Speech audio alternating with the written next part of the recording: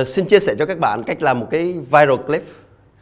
Như các bạn đã biết, uh, trước đây á, thì quảng cáo uh, là uh, nói thật nhiều về sản phẩm, nói thật nhiều về điểm mạnh của sản phẩm, nói thật nhiều về những cái tác dụng của sản phẩm. Cái cách đó thì có thể gây chú ý nhưng mà người ta bị cưỡng ép, người ta không có nghe nữa, người ta không có người ta không có người ta sẽ tắt ngay. Vậy hiện nay đó là cái cách mới á, là cách làm một cái câu chuyện và cái câu chuyện đó thể hiện được thông điệp hay là tính cách thương hiệu hay là những cái đặc tính của sản phẩm. Phim quảng cáo người ta đi từ trong cái gọi là insight. Chúng tôi tôi sẽ giải thích một bài riêng về insight. Insight là gì? Tức là cái mong ước thầm kín đến tận cùng và dựa trên cái mong ước đó người ta bắt đầu xây dựng cái chiến dịch thương hiệu hay là chiến dịch cho sản phẩm. Ví dụ như Omo. Các bạn biết là Omo dựa trên một cái insight là người mẹ rất là muốn con mình ra ngoài chơi chơi thật, thật thoải mái. Nhưng mà à, rất là sợ con bị dơ bị lấm bẩn quần áo bị dơ.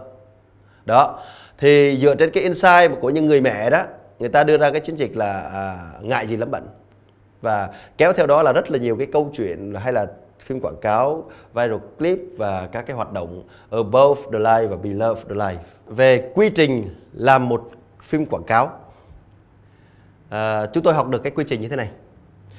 À, đầu tiên á, là bên ờ, khách hàng, hay nói đúng hơn là bên phòng marketing, họ sẽ tìm hiểu về thị trường, tìm hiểu về đối tượng mục tiêu của sản phẩm, tìm hiểu về cái sự thật ngầm hiểu về sản phẩm, tương quan giữa sản phẩm với khách hàng.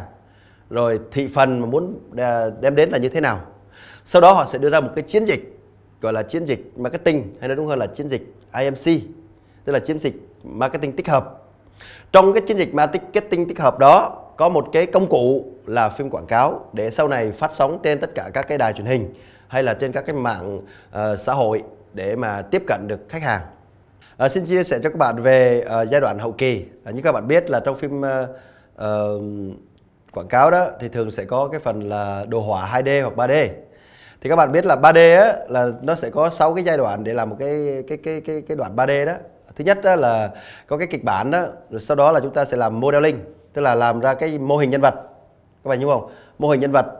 Ví dụ nhân nhân vật đó là một cái như tôi có có đã làm cho cô đã thức chẳng hạn. À, là nhân vật đó là một cái um, uh, em bé uh, được tạo hình bằng uh, gọi là thuốc thuốc ho cảm á, cho con nít á. Thành ra là được tạo hình bằng mấy cái uh, viên đường này rồi à, mấy cái lá này là đầu là mấy cái lá này chân là mấy cái viên đường này thân mình là cái trái tắc này rồi uh, mặc đồ là mấy cái mấy mấy cái lá này lá kia vậy đó. Thì đó là tạo hình nhân vật.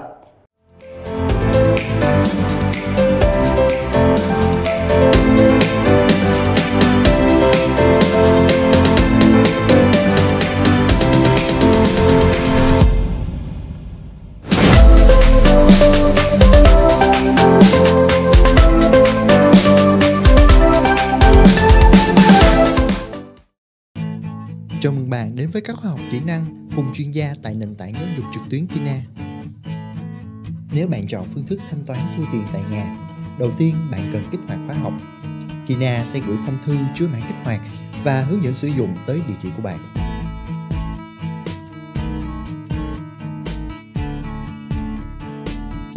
Đăng nhập tài khoản và điền ngay mã tại trang kích hoạt. Khóa học sẽ được thêm vào mục khóa học của tôi với các phương thức thanh toán trực tuyến, khóa học sẽ được tự động thêm vào khóa học của tôi sau khi giao dịch của bạn được xác nhận.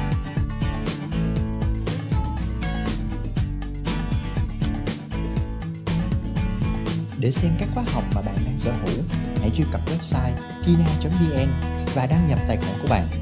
Từ trang chủ, bạn có thể dễ dàng vào trang khóa học của tôi.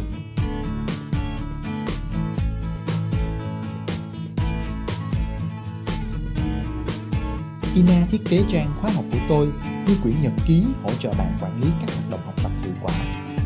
Để giúp bạn theo dõi lịch sử học tập, các khóa học được tự động sắp xếp theo trạng thái đã mua và. Trên từng khóa học, Kina sẽ thông báo đến bạn tiến độ học tập hiện tại.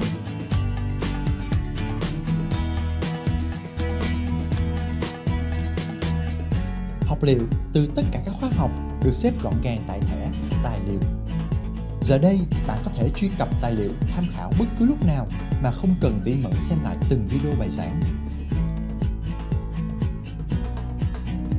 Hỏi đáp với giảng viên và lịch sử tương tác cùng các học viên khác sẽ được tự động tập hợp theo tên khóa học. Đây là một chức năng rất được yêu thích tại Kina vì nó làm cho việc ghi nhớ kiến thức trở nên thật nhẹ nhàng. Cuối cùng, từ trang cá nhân của mình, bạn có thể dễ dàng quản lý mọi giao dịch tại Kina và hoàn thành thanh toán các khóa học. Với mong muốn đem lại sự tiện lợi cho học viên, Kina xây dựng giao diện học tập linh hoạt, hiển thị hoàn hảo trên mọi thiết bị, từ máy tính, máy tính bảng tới điện thoại di động. Giờ đây, kiến thức chỉ còn cách bạn một cú đích chuột. Trong quá trình xem video bài giảng, bạn có thể nhanh chóng tạo các ghi chú và tóm tắt ý chính của bài học.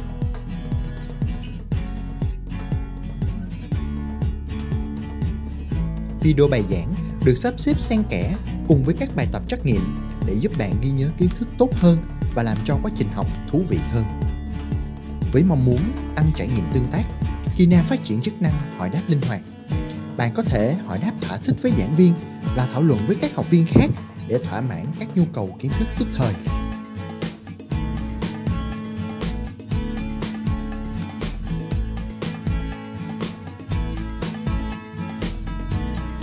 Sau khi hoàn thành khóa học, bạn sẽ được cấp chứng nhận online miễn phí. Nếu bạn muốn chạm vào thành quả của mình, được lồng trong khuôn gỗ có chữ ký và đóng dấu của công ty. Trong trường hợp video hướng dẫn này vẫn chưa thỏa mãn hàng vạn câu hỏi của bạn, hãy liên hệ với Kina qua số hotline 1900 63 6409 để được hỗ trợ nhé.